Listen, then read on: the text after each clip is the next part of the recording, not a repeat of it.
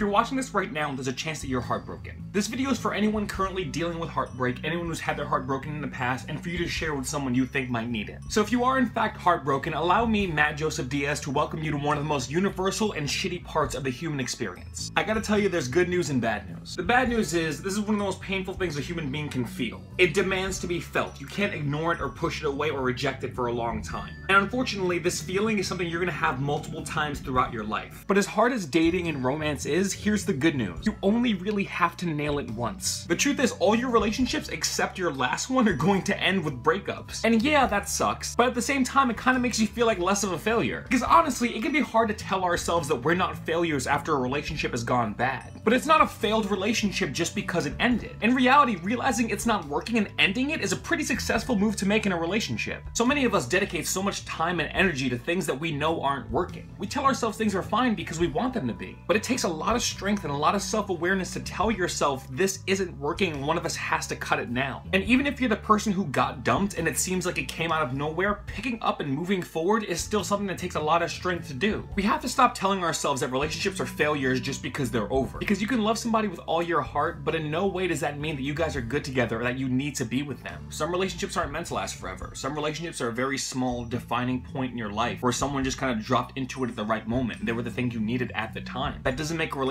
bad. That doesn't make the end of it a bad thing. Sometimes that relationship needed to happen as briefly as it did so you could help each other grow. Heartbreak is a pain that demands to be felt. You can try pushing it away. You can try going out and partying or rebounding or sinking yourself into video games or movies, whatever it is you choose to do. But in your heart, in the back of your mind, you won't be able to push that feeling away because it hurts and it hurts because someone meant a lot to you. And you try and rationalize with yourself. You try and make yourself feel like it happened for a reason. At some point, you start telling yourself that you must have fucked something up. But sometimes people just do what people do. The heart wants what it wants and it doesn't what it doesn't. But if you've been let go or dumped or rejected by someone you really like, you have to understand that if you're not what someone wants, you're never going to be what that person wants. You can't force yourself to be something that you're not for someone else. It's okay to hurt.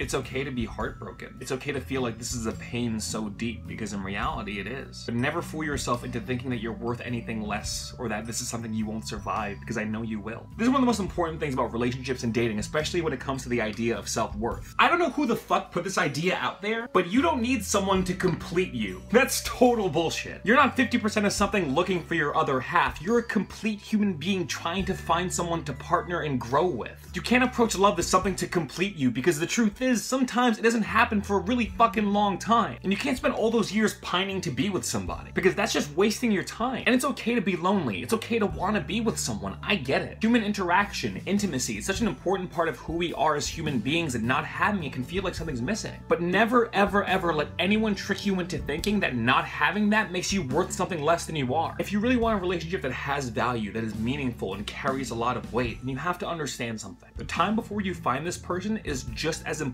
as the time after. You shouldn't spend this time waiting for someone to come and find you. You're not a fucking princess in a tower, you're a human being. This is the time when you craft the human being you're going to present to this person when they come into your life. These failed relationships, these things that aren't working out, they're still teaching you important things about intimacy, about love, and about yourself. Nothing is wasted time if you can learn something from it. Even in your worst relationships, you learn about yourself. You learn about resilience. You learn about the strength you have even when going through heartbreak. Carry that with you when you move forward. Because true love isn't a goal, it's another journey. You spend this time growing and cultivating your personality, so when you find this person, you come to them and say, This is the way I can help you grow. Show me how you can help me grow. And that's the strength you get from all these failed relationships in this current time. You have all this experience about the pitfalls of human relationships, about lack of trust, about dishonesty, about lack of communication, and you use all these so that you can avoid them when you find this other person. You're gonna force this relationship based in sincerity and intimacy, compassion and trust all these beautiful and wonderful things. So here's my advice for anyone who's heartbroken right now. Understand that your feelings are totally valid. You're allowed to be in pain. What you're going through fucking sucks. And you know it's gonna be okay. I know you know it's gonna be okay. Me telling you that is just kind of fucking annoying. Because even though you know it's gonna be okay, that doesn't help it suck any less right now. But someone has to tell you because you deserve to hear it. Things are gonna work out fine. Do what you have to do to get by. You know your own self-care better than I do, but just make sure you don't push your feelings away. Because time won't heal this wound on its own. If you don't address these feelings, feelings, if you keep pushing them away, all that's really gonna happen is that you're gonna waste a bunch of time on Netflix and then still end up feeling like shit about it. You have to address what happened, why you're feeling what you're feeling, why you think things didn't work out. And then in time, look at those things and think, okay, moving forward, what can I do better? Even if it isn't your fault, even if homeboy over there totally fucked up and you did nothing wrong, you still have to think, what can I do better? Because no matter how attentive or how much communication you have, you're still only half of this relationship. And you don't get to decide what the other person feels or does. Be honest about what mistakes you've made because we lie to ourselves a lot. And it's okay to tell yourself you have value while still admitting that you have things you have to work on. We all have things we have to work on. The more you lie to yourself, the more you play yourself about why things went wrong, it's only gonna hurt you in the future. And just never stop telling yourself that no matter how many relationships don't work out, no matter how long you go without a partner, no matter what seems to go wrong in any kind of romantic interest you have, never stop telling yourself that you have value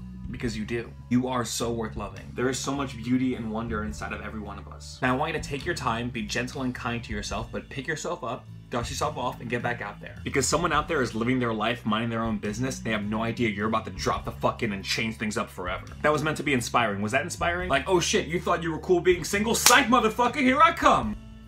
Yeah, that's why I'm single. but I promise you things are gonna be okay. You're never as alone as you think you are. Well, that's it for me. Uh, I hope that I managed to actually help somebody. I have a lot of bad experience with dating, so I feel like maybe this was kind of a message to myself as well. You can find me on Ravishly.com. I write for them now, and uh, you can also find me on my website, mattjosephdiaz.com. Check out at mattjosephdiaz on Instagram, uh, Twitter, Facebook, everywhere. Um, go to mattjosephdiaz.com slash booking if you're interested in looking me up for a writing gig, a sponsorship thing, uh, public speaking, anything. Just go, go check all of it out. That's it for now, guys. Uh, I'll see you all next week.